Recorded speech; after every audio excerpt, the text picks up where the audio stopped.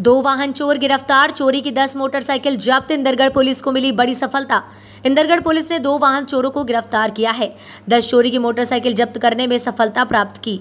Media को जानकारी देते हुए एसडीओपी ने बताया कि पुलिस चेकिंग अभियान के दौरान इंदरगढ़ पुलिस को कुलदीप यादव, निवासी खिरिया, फैजुल्ला थाना गोदन और एक कम उम्र का बालक के कब्जे से दस चोरी की मोटरसाइकिल जब्त करने में सफलता प्राप्त की है।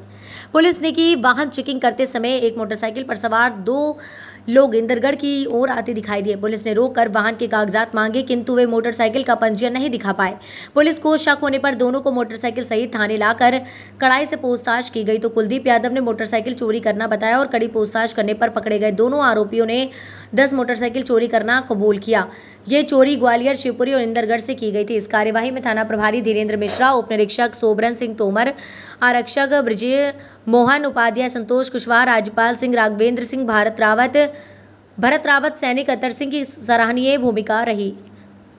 ये विगत दिनों पुलिस मुख्यालय द्वारा जो हमको निर्देशित किया गया था कि संपत्ति संबंधी अपराध, जिसमें विशेषकर जो वाहन चोर हैं और जो नकबजनी के आरोपी हैं, उनकी पतासाजी हेतु निर्देशित किया गया था, जिसके पालन में पुलिस अधीक्षक महोदय दतिया द्वारा निर्देशित किया गया कि सभी थाने जो हैं ज़िले के, वो विशेष अभियान चलाते हुए वाहन चोरी के जो प्रकरण हैं, उनमें निकाल करें और ऐसे अपराधी जो कि वाहन चोरी करते हैं, उनको पता साझी करके उनको गिरफ़्तार करें। तो उसी पालन में टीआई इंदरगढ़ और इनकी टीम द्वारा पिछले कुछ दिनों से जो बाइक चोरी की घटनाएँ हुई थी, उसके संबंध में लगातार जो है क्षेत्र में पतारासी की जा रही थी, जिसमें इनपुट मिला मुखबिर से कि ये आरोपी कुलदीप यादव है, जो खिरिया फैजुल्ला थाना गोदन का निवासी है।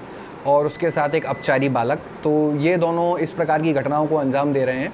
तो इनके द्वारा, उसमें टीम के द्वारा घेराबंदी करके आरोपी को गिरफ़्तार किया गया। और जिससे जो एफआईआर में बाइक गई थी, वो रिकवर तत्काल मौके पर हुई।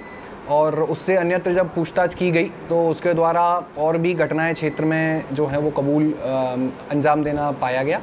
और जिसके उपरांत उससे 11 मोटरसाइकिल जो हैं वो जब्त की गई हैं अभी, जिसका कुल मशरूका छः लाख के ऊपर है लगभग।